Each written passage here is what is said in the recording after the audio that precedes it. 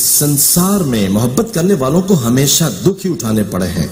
शायद किस्मत बनाने वाले ने मोहब्बत करने वालों के मुकद्दर में दुख ही दुख लिख दिए हैं।